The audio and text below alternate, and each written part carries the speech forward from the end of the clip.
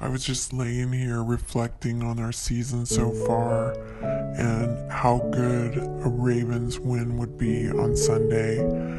I'm gonna stop torturing myself. I'm gonna stop eating so much grass and throwing up every time I think about the season so far. Because when we get that win on Sunday, you know what? We're gonna be on top of the AFC North and all will be well. Here we go, Brownies. Here we go. Woof woof. This year is really, it is different.